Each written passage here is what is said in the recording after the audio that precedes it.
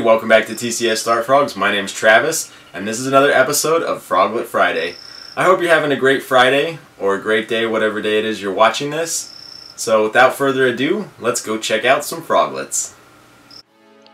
So to start off, we have some Dendrobates tinctorius azureus. Most of these are pretty standard looking azureus, but I still find it fascinating to see all the different colors and patterns that these little guys are when they first make their metamorphosis. And it's pretty amazing. Some of them come out pretty white, and some of them come out more yellow and even greenish colored, and eventually they all turn blue. This guy has a really cool dark patch over his eye, which will probably go away as he ages. And this next one here has a pretty fine spot pattern, should be a really neat looking adult. And this is what they look like as adults. And this next one is a Dendrobates tinctorius powder blue. These are one of my all-time favorite frogs.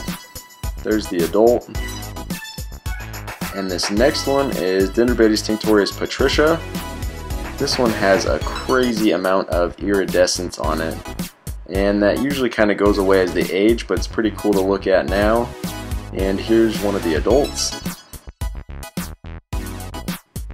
And this is a Dendrobates tinctorius green Sipaliwini.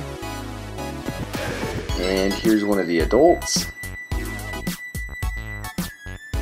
And next up we've got some Dendrobates leucomelas.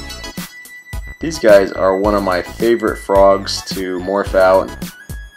And I don't really produce a lot of leucomelas, which is funny because they're one of the more easily bred frogs. But there's an adult of one of those. And last but not least, this is a Dendrobates auratus Super Blue. This one has a pretty unique pattern, and I don't produce a lot of auratus either.